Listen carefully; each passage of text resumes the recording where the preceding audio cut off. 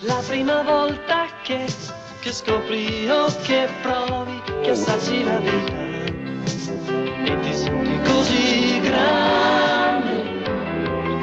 E allora incontri un gusto che è nuovo e come te, San Pellegrino. È l'aranciata della prima volta, la prima volta che ti senti